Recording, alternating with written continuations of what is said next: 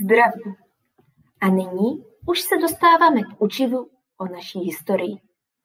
Ale než začneme, tak si povíme něco málo o čase. Čas je totiž zvláštní věc.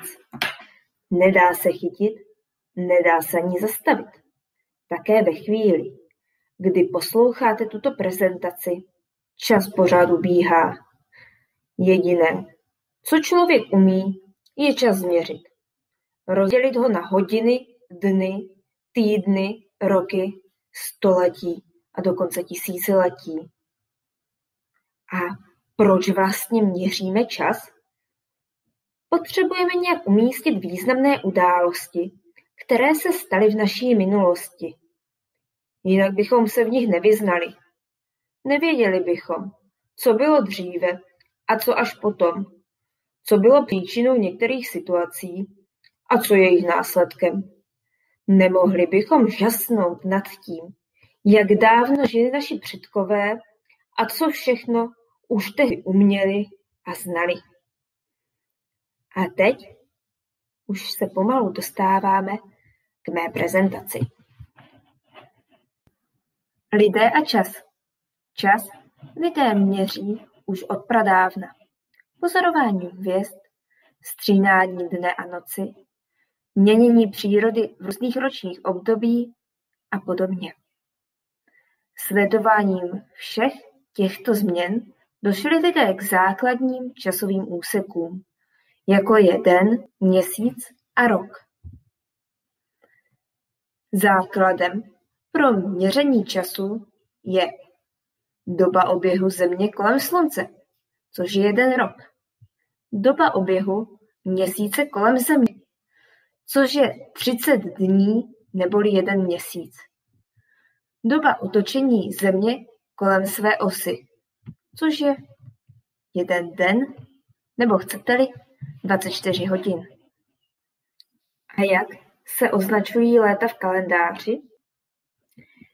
Aby se mohly plynoucí roky počítat lépe, hledá se nějaký začátek, nějaká mimořádná významná událost.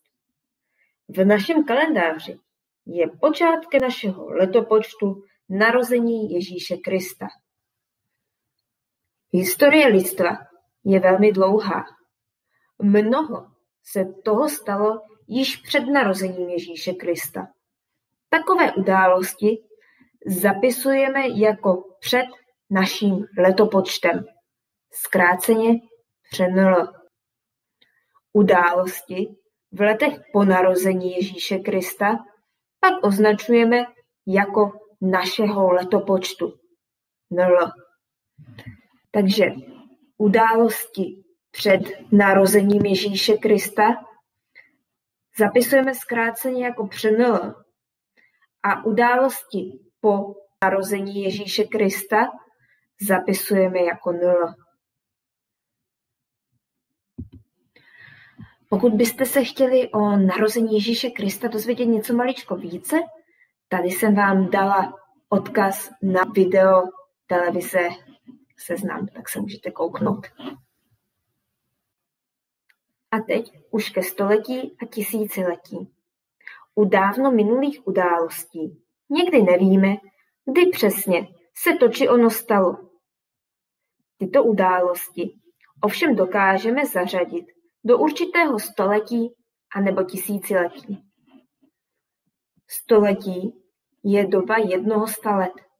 Například roky 2001 až 2100 jsou 21. století. Tisíciletí je pak doba jednoho tisíce let. Například roky 2001 až 3000 jsou třetí tisíciletí. Zde pak vidíme znázornění staletí na časové ose a něco maličko více o určování staletí se dozvíte v jiném videu, na které jsem vám dala odkaz do zadání.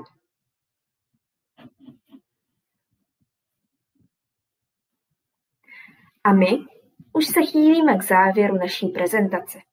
Pro národy, které Ježíše Krista neznali nebo neuctívali, Nebylo jeho narození ničím významným. Proto si pro začátek letopočtu vybrali jinou událost, která je pro ně něčím významná a nebo důležitá. Například staří Řekové prohlásili za počátek svého letopočtu termín konání prvních olympijských her. Arabové pak počítají svůj letopočet od roku 622 a Židé počítají svůj letopočet od bájného počátku, nebo chcete-li stvoření světa. A to je ode mě vše. Já vám děkuji za pozornost.